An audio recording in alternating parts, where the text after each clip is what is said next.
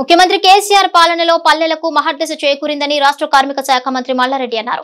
గురువారం మేడ్చల్ మండలంలోని సైదోనిగడ్డ తండా కోనాయిపల్లి మైసిరెడ్డిపల్లి గ్రామాల్లో నిర్మించిన నూతన గ్రామ పంచాయతీ భవనాలను మంత్రి మల్లారెడ్డి ప్రారంభించారు.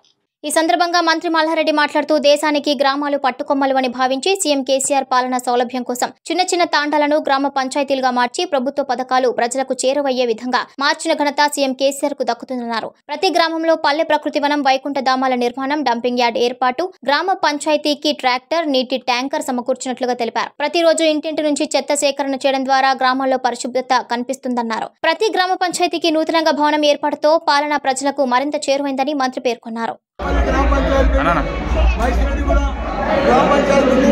సైదోన్గడ్డ గ్రామ పంచాయతీ. మూడు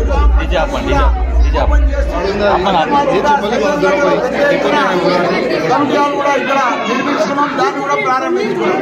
ఏది ఏమైనా మన సీఎం కేసీఆర్ గారు మంచిగా దండాలు చేసి వాళ్ళందరూ కూడా గ్రామ పంచాయతీలు చేసి వాళ్ళందరూ కూడా బంజారా భవన్ పెద్ద ఎత్తున కట్టించి అవన్నీ కూడా మన బంజారాలకు మన మన మన లంబాడ సోదరులకు అందరికీ కూడా వాళ్ళకు తలెత్తుకునేటట్టు గౌరవంగా అన్ని కూడా గ్రామ పంచాయతీ చేసి వాళ్ళ పరిపాలన వాళ్ళే వాళ్ళ తండాలన్న వాళ్ళే పంచాయతీలు వాళ్ళ సర్పంచులు వాళ్ళ వార్డు మెంబర్లే. అవన్నీ కూడా చేసినట్టు కదా విషయంలో మన సీఎం కేసీఆర్ గారు చాలా బాగా సుజాతమ్మ కూడా మా బిడ్డ మంచిగా చేస్తున్నాను మంచిగా గ్రామ పంచాయతీలో మంచిగా నాలుగేళ్ళు కూడా కంప్లీట్ చేసుకుంది చాలా బాగా చేస్తుంది. మా ఎంపీ గారు, మా వార్డు